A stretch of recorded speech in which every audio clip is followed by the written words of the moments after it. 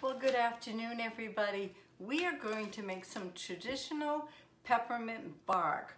What you need is a um, cookie sheet right here, and I have parchment paper on it right there. And what I use, I have this chocolate melting um, maker, and it melts my chocolate. But what you can do is you can take a kettle and then put a bowl on top of the kettle, put some water in the kettle, and then just stick it like this in the bowl and it will melt. Once the water's hot, it will melt your chocolate. Well, and what else you need is some chocolate almond bark and some vanilla almond bark and some candy canes. And I'm just gonna show you everything that we have and I forgot to get my tortilla roller, so hold on. I'm not going too far, just into the kitchen. We need something to break up these candy canes, right? You can use a hammer or a food processor or whatever, but you can just go like this. You can leave your pieces big or small.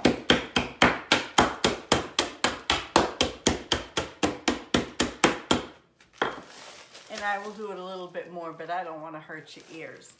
So then what you want to do, I'm going to take some vanilla right here, bark. Sometimes I can break it, sometimes I can't. I think I'm going to use one of those. And then what I'm going to do, take the chocolate. I opened everything so it'd be easier and quicker. Take some chocolate like this. There's a lot here that we've got to spread. So I'm going to use this whole, whole bark. I hope I don't need it for anything else, but we're going to make a nice tray of peppermint bark. And I'm doing it with a Grammie twist. So once this all gets melted, I'll bring you back to show you how I put it together. Okay, folks, you don't need to see me in here. This is all melted now. Look at this. And all we're gonna do is we're gonna pour this right on. Just like this. Just let it go right on everywhere.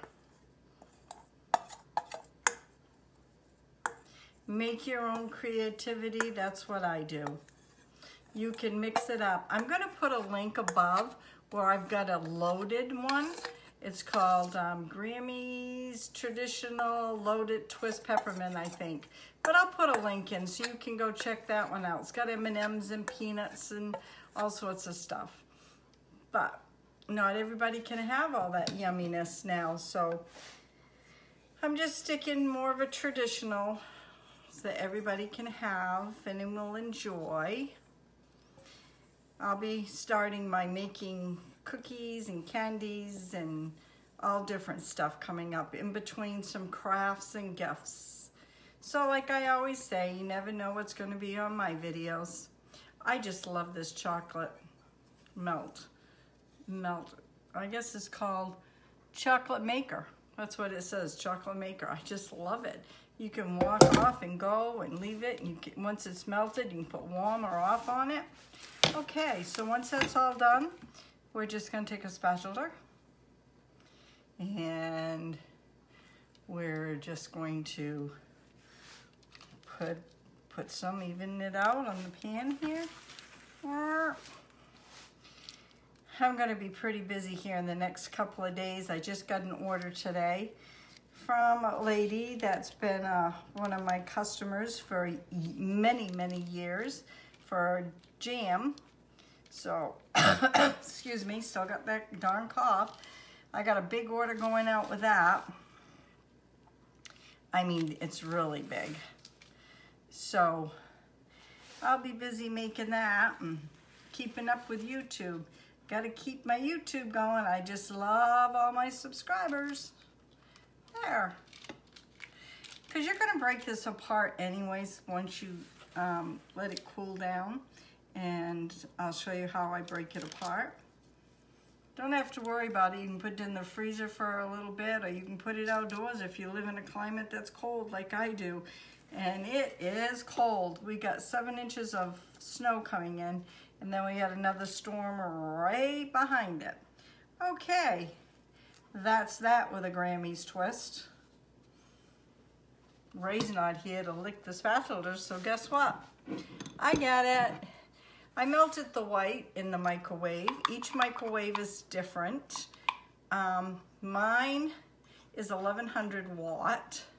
And it took about two minutes for, let's see, about one cup, or in some places would call this, hot here, almost a quarter of a liter, right there. And then here's the cup side. Try to get it without a glare. Okay, like I said, we're gonna do this for the Grammie twist. Just kind of go like this.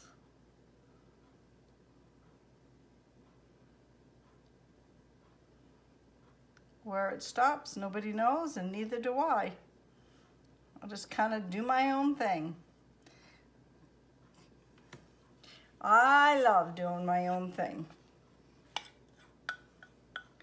My kids will say, oh gosh, mom, did you really have to? I'm like, well, you know me, do my own thing. Now, I just thought of this. I wasn't going to do it, but I am now. I'm just gonna take a skew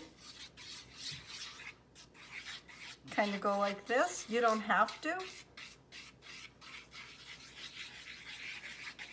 But I want to.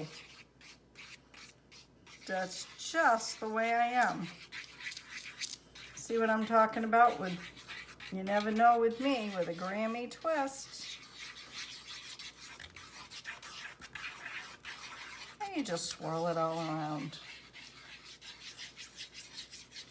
That's what it makes interesting when you come to my channel. You never know what you're gonna see or what I'm gonna be doing. And to be honest, I don't know either.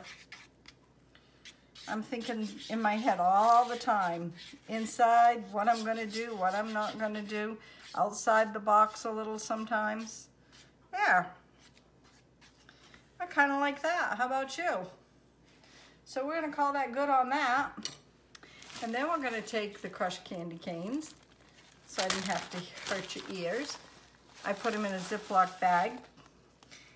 And I like to make mine all sizes. I don't like to smush it down because when I have something, I want to be able to taste it. I don't want no little cavity filler, as I call it. When I, I want the whole thing, I want some of it, I want to be able to get the taste of it all. Now this will be gifted out for family and friends. And if Ray's real good, Ray will get some to take to go to work. And if he's not, he'll just get a whole bunch of lump of coal to take to work and let him explain that to his co-workers. I don't think I'm gonna be using all this. And that's a good thing about putting it in a Ziploc because you can save it for later for when you have another project coming, and I'll be having lots more coming up. Just like that.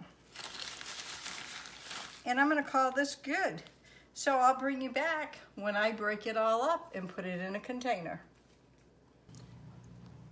Okay, I put this outside and it was done within 15 minutes. Make sure you got nice clean hands. I always like to give it a little clank and then you just start breaking it. Just like this.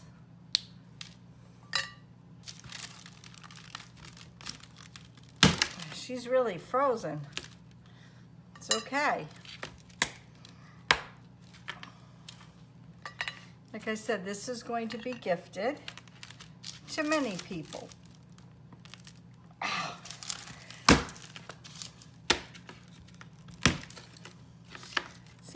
Easy that is? We'll get a few more here out on the tray.